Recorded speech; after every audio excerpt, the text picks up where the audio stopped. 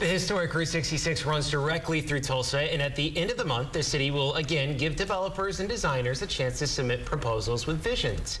Megan Farley with Dewberry Architects is here with Ellen Ray, the managing director of the City of Tulsa Design Studio. Thank you both for being here. Megan, Absolutely. good to see you again as usual. Yes, you too. Uh, Dewberry, uh, they're doing some stuff over at the Cyrus Avery Bridge, Yes, correct? for years Dewberry has been involved. We actually designed the Cyrus Avery Plaza, which is really close to this um, area that the city is looking to develop. So we're incredibly excited that the conversation is starting and to have Ellen here in Tulsa from Austin.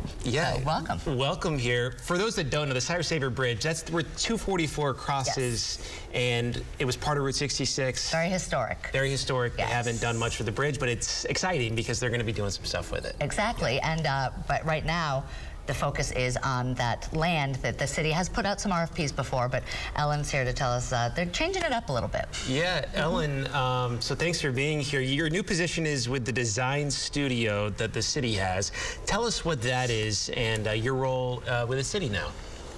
Sure. So the design studio really exists to bring people into the design process. So insofar as the city's going to put out a call for a development or design a new park, we want to make sure that people are there shaping what gets created from the beginning of the project. And obviously, you want people to be a part of this. So, what is the process like for somebody to submit a proposal? What are you looking for? What are your goals with this? For sure.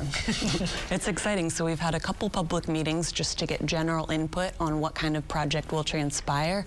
Uh, there will be a development, there will be a roadside attraction piece, and there will be some interna- interactive technology to celebrate Route 66.